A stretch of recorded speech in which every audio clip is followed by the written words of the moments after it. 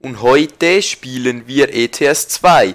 Ja, heute in ETS 2, Leute, habe ich für euch eine Getriebe-Mod-Vorstellung. Leute, und zwar die Aten, Fu und Alison 10 Speed, 13 Speed, 18 Speed, also eben, man kann da natürlich, das kann ich euch gleich mal zeigen hier, bei der Garage, man kann natürlich da einstellen, auf wie, also man kann da wählen, auf wie viel Gänge, dass man natürlich diese ganze Mod haben will, was ich mega, mega geil finde, Leute, eine Getriebe-Mod. Ich habe mir doch gewünscht, dass mal eine Mod herauskommen soll, wo viel mehr abgeht, ist zwar eine Getriebe-Mod, aber immerhin, Leute, besser als gar nichts, Leute, was mit Speed zu tun hat. Hier haben wir 18 Gänge, Leute, und hier haben wir nur 16, also habe ich natürlich den mit 18 Gänge genommen, Leute. Obwohl, vielleicht, da kann man es jetzt erkennen, von hier LKW-Analyse kann man jetzt hier erkennen, wenn ich jetzt da den unternehme, der ergibt vielleicht ein bisschen mehr und äh, dieser ein bisschen weniger. Dafür habe ich jetzt mehr Gänge, Leute. Und ja, dieser LKW geht eigentlich schon ohne diese Mods jetzt schon eigentlich richtig ab. Aber mit diesem Mod wird er natürlich noch mehr abgehen, Leute. Aber, was halt ein bisschen der Nachteil ist, man kann natürlich bei den Analysen sehen, was dann natürlich jetzt einem höheren Getriebe äh, besser geht und was ein bisschen schlechter und so kann man die ganze Statistik anschauen. Wir transportieren einen Raupenbacker, Leute, von Zürich nach Nürnberg, Leute. Und wisst ihr, was das Schwierige sein wird? Und zwar, wenn es bergauf geht, ist vielleicht diese Getriebemod nicht schlecht, Leute. Ich komme easy damit hoch, aber nicht mit voller Geschwindigkeit. Ohne diesen Auflieger, Leute, wäre dieser LKW wie eine Rakete, Leute. Das kann ich euch jetzt schon sagen. Also beim Anfahren ist er eigentlich schon easy schnell, also wird er auch eine Rakete sein, wenn ich mit dem nachher Vollspeed gebe und das könnt ihr auch nachher sehen, wenn ich auf der Autobahn bin. Jetzt muss ich halt nur schnell warten, bis dann natürlich die ganze Ampel auf grün geht. Aber eben, wie gesagt, wir transportieren das Ganze von Zürich nach Nürnberg, Leute. Okay, äh, was, was habe ich jetzt da wieder gemacht? So, ich hoffe, dass das mit dem Navi jetzt ganz gut klappt, denn ich möchte nicht immer hier dieses eingeblendete Navi, wenn ich selber im LKW da beim MAN das Navi habe. Ja, man kann das nämlich eigentlich für alle LKWs wählen. Ich habe das sogar, es sind zwar nur die vorgeschriebenen LKWs, sind auf der Liste aufgelistet bei diesem Mod im Steam Workshop, aber kann man jetzt auch beim Canword einsetzen in Euro Truck Simulator. Das habe ich sogar ausprobiert, aber ich dachte da nur, nee, also ich würde es lieber mal beim M1 probieren, weil dort merkt man natürlich schon der Unterschied mehr, weil der Canword, der ist schon genügend schnell, Leute, glaubt mir. Dort braucht man diesen Mod nicht mehr, der ist schon genügend schnell.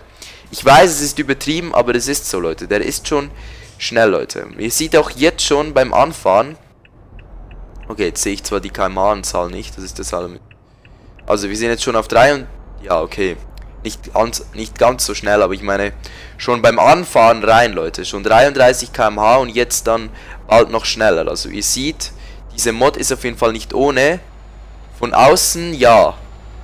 Man hört vielleicht jetzt nicht viel, aber man hört, man hört irgendwie schon...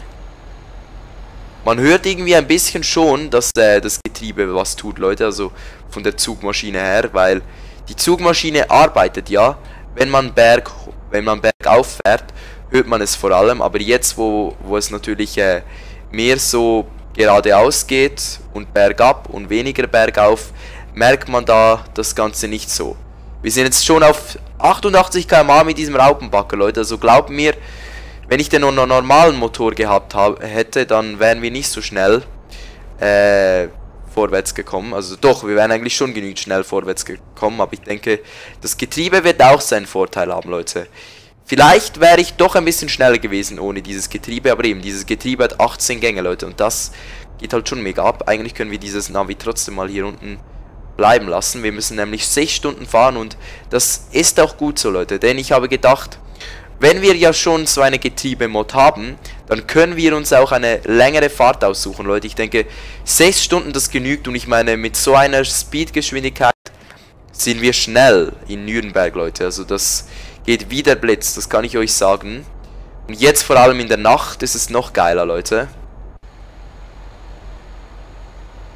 Oh, ich weiß nicht, was... Ich weiß nicht, was heute mit dem Spiel los ist. Zwischendurch bleibt es stehen. Ich weiß nicht, ob es wieder irgendwelche Probleme beim Steam Workshop irgendwas wieder gibt von diesem Mod. Ja, wieso bleibe ich... Jetzt bleibe ich da noch für kurze Zeit hängen, ja. Alles klar. irgendwelche Serverprobleme, keine Ahnung wieso, aber jetzt läuft es eigentlich wieder einigermaßen flüssig. So, wir müssen schon bei der ersten Ausfahrt hier wieder abbiegen, also das geht ja alles mega schnell. So, und nachher möchte ich jetzt schnell testen, Leute. Ey, ich check nicht, wieso das Ganze so laggt, ey. Okay, jetzt möchte ich mal probieren, Leute. Jetzt werden wir mal sehen. Ich weiß, ich sieht jetzt nicht auf der, auf der Anzeige nicht so gut wie ich, weil ich natürlich das Ganze aber ich mache jetzt extra, blende hier dieses Navi ein. Okay, Leute, jetzt können wir mal schauen, wie schnell das wir von 0 bis auf 100 sind. Und ich gehe jetzt natürlich auch von der, äh, ich mache das Ganze natürlich auch von der Außenperspektive. Okay, also ihr seht schon an dieser Mod, Leute, jetzt geht es bergauf. Ihr seht, Leute, wie schnell das, das geht. Vor allem, wir transportieren einen Raupenbacker, Leute. Das kriegt nicht jeder LKW so schnell hin, zum so schnell anzufahren. Jetzt sind wir schon auf 40 und jetzt geht es bergauf, Leute, ein bisschen.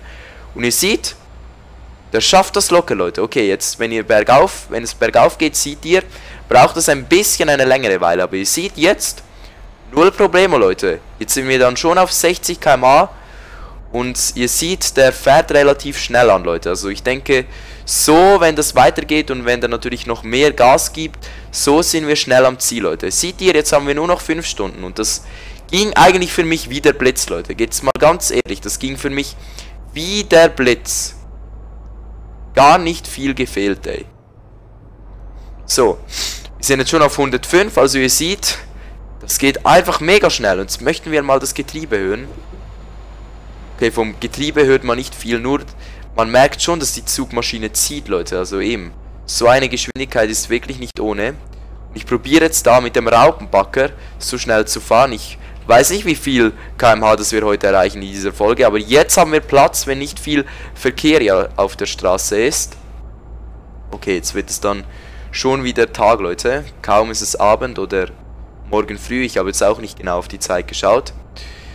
Na gut, Leute, wir sind jetzt auf 123. Eigentlich kann ich jetzt das Ganze wieder ausblenden. So, ich sehe es natürlich da auf der Anzeige. Ihr seht es wahrscheinlich nicht so gut wie ich, aber äh, eben, ich kann es euch ja sagen.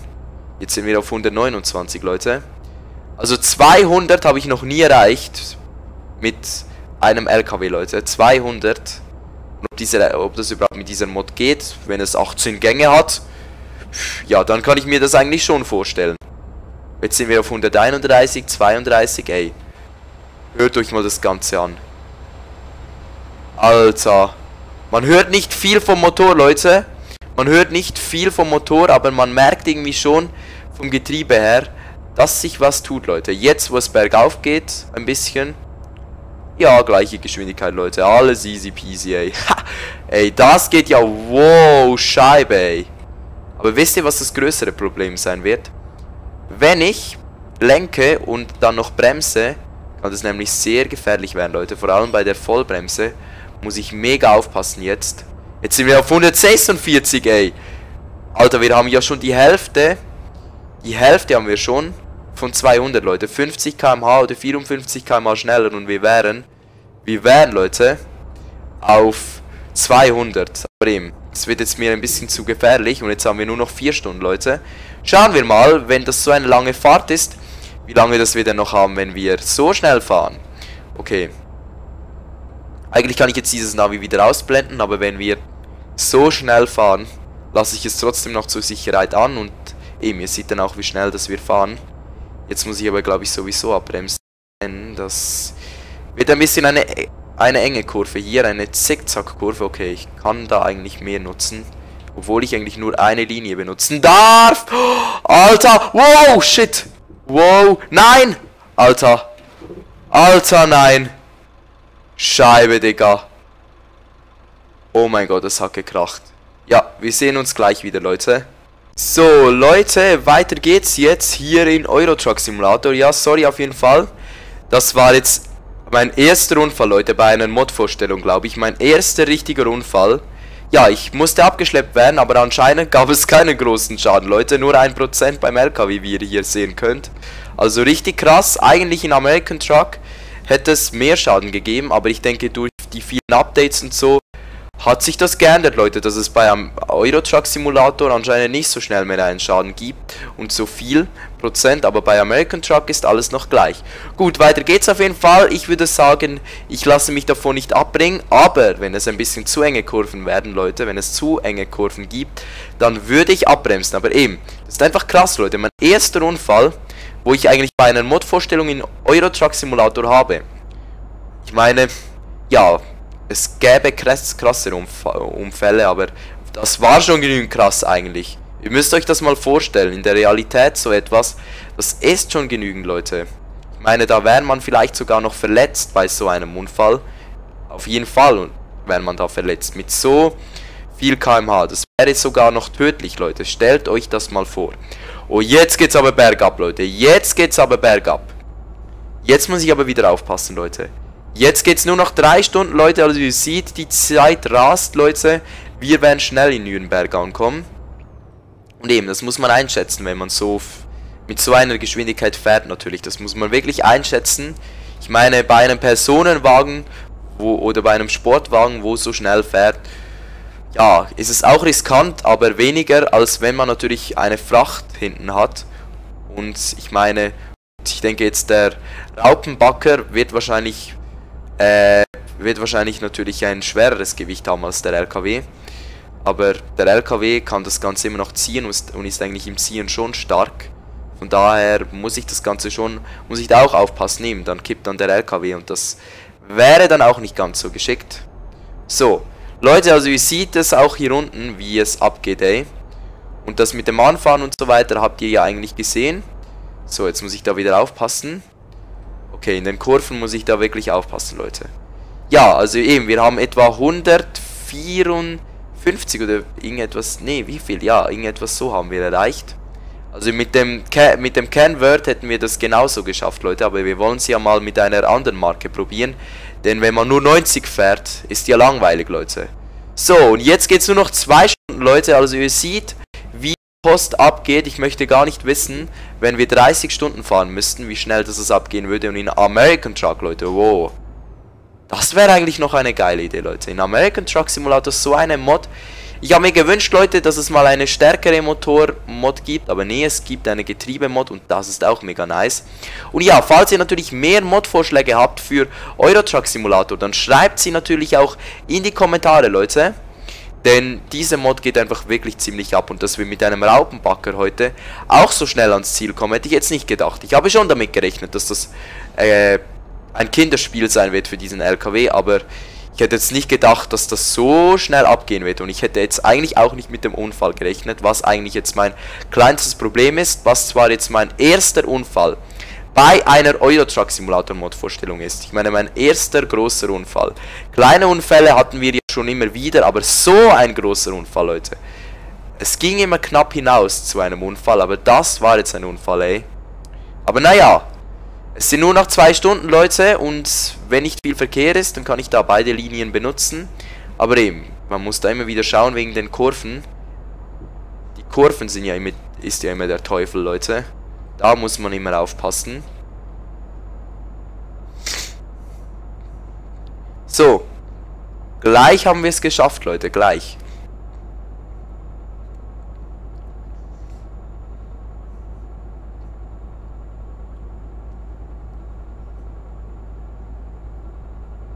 Ja. Leute, es geht ungefähr jetzt dann nur noch eine Stunde. Eine Stunde geht es jetzt dann nur noch ungefähr. Das sieht schon mega, mega gut aus. Und ich sehe jetzt, ich muss da die Spur wechseln. Genau.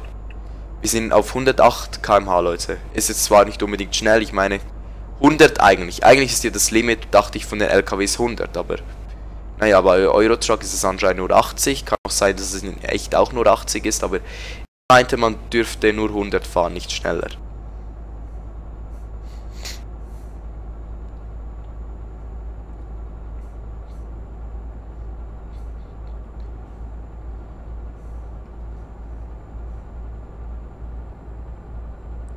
So, 121, 22, ey. Nee, das geht richtig schnell ab.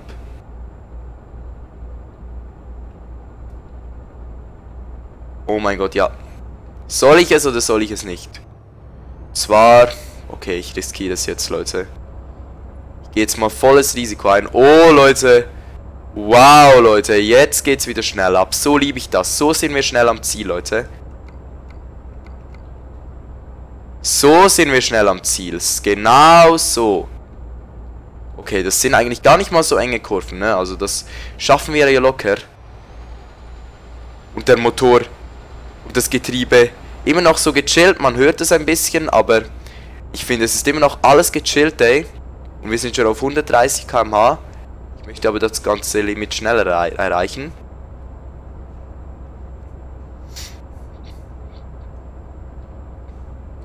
So, Leute, wir haben das Ziel gleich erreicht. Wenn ich jetzt nicht so einen schnellen Motor hätte, ging jetzt natürlich das Ganze ein bisschen länger, aber naja. Ihr seht auf jeden Fall, es hat einen Vorteil. Wenn ihr auch Eurotruck spielt, würde ich euch auf jeden Fall diese Mod empfehlen. Ist auf jeden Fall richtig geil, vor allem für Fernfahrten, Leute. Für Fernfahrten könnt ihr euch wirklich einige Zeit sparen, wenn es euch langweilig ist. Diese Mod kann ich euch nur empfehlen, Leute. Einfach das Beste.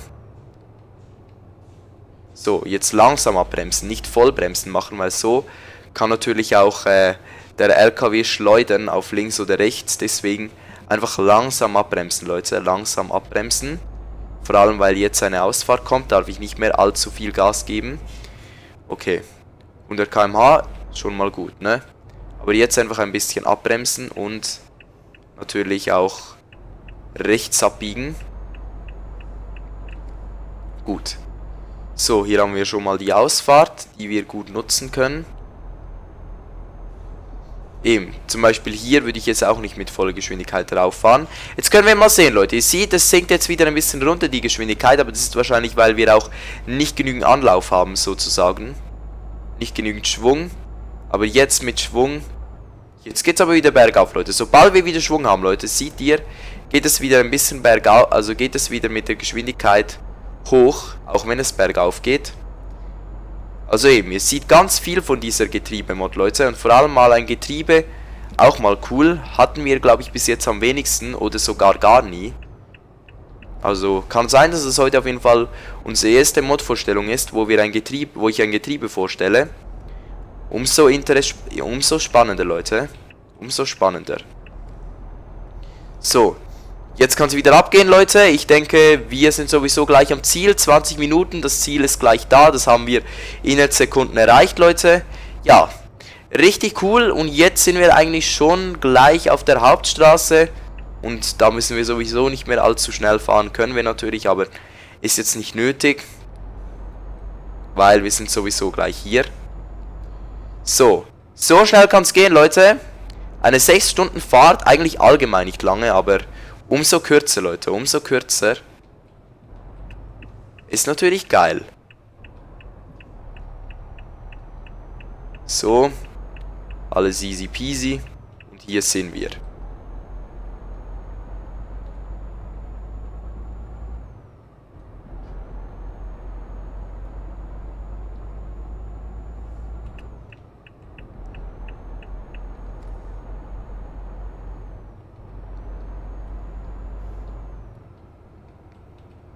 So, okay. Ich bremse mal ab. Abbremsen, so. Leute, wir haben es gleich erreicht. Ihr seht, jetzt müssen wir nur noch warten, bis die Ampel grün wird und wir haben es.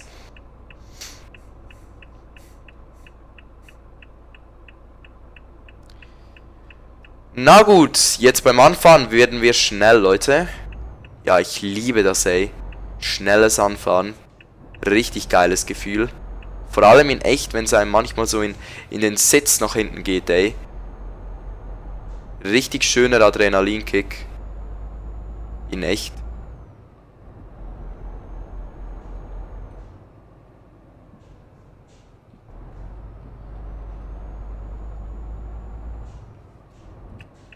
Und hier sind wir, Leute. So. Ja, richtig schnelle Fahrt. Eigentlich muss ich sagen, eine gelungene Fahrt, eine gelungene einigermaßen ne, mit einem Unfall. Und das nicht nur mit einem kleinen Unfall, ich musste sogar abgeschleppt werden. Aber naja. So, jetzt müssen wir den ganzen Raupenbacker eigentlich nur noch hier abladen und gut ist. Ja, richtig nice. Jetzt können wir auch da gerade so hinfahren. So.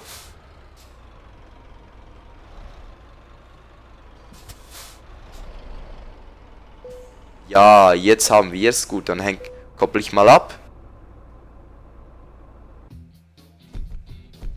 So, ausgezeichnet, Leute. Trotz Unfall. Zum Glück hatten wir keinen Schaden beim Aufliegen, Leute, und sind nicht zu spät gekommen. Ja, war eine geile Mod-Vorstellung, Leute. Mir hat es mega viel Spaß gemacht. Mal etwas anderes, ein Getriebe. Richtig toll auf jeden Fall. Und ich bedanke mich an alle Zuschauer. Wie immer ganz herzlich fürs Zuschauen. Und ich wünsche euch alle noch einen schönen Abend, Leute. Macht's gut. Und bis zum nächsten Let's Play, Leute. Haut rein, Leute. Und tschüss.